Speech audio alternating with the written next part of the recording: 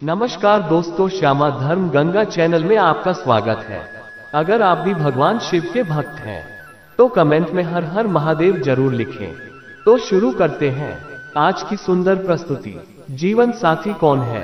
ये बड़ा अहम सवाल है।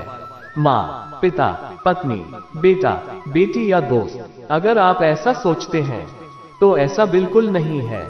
आप यहाँ इस बात का भ्रम पाले हुए हैं।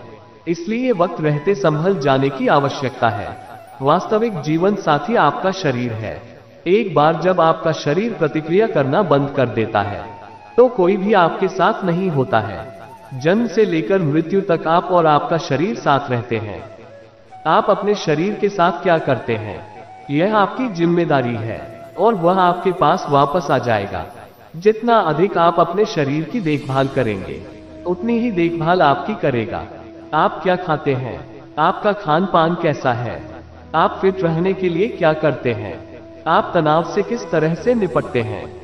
आप अपने शरीर को कितना आराम देते हैं? कितना इसको काम में लेते हैं? आपका शरीर तय करेगा कि किस तरह और कैसे प्रतिक्रिया देगा।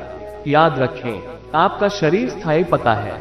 जहाँ आप रहते हैं, आपका शरीर आपकी परिसंपत्ति देनदारी है। जिसे कोई और साझा नहीं कर सकता।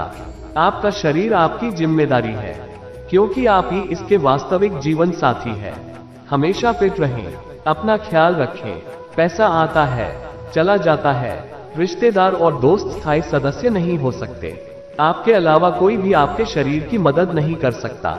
ये दुनिया का सबसे कड़वा सच है कि जब तक आप स्वस्थ हैं, आप सभी को अच्छे लगेंगे।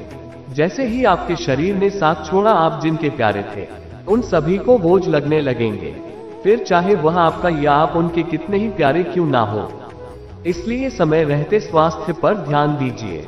अच्छा खाएँ, सभी का अच्छा सोचें, अच्छा पहने सादा जीवन और उच्च विचार रखें। प्राणायाम लिंगस्टन के लिए ध्यान मन के लिए दिल के लिए लंबा चले आंतों के लिए अच्छा खाएँ। जिसमें फल, सब्ज़ी, अंकुरित अनाज शामिल करें।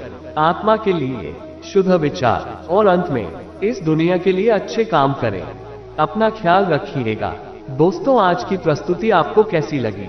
अगर आपको हमारे द्वारा दी गई जानकारी पसंद आई हो तो प्लीज़ लाइक एवं सब्सक्राइब ज़रूर करें।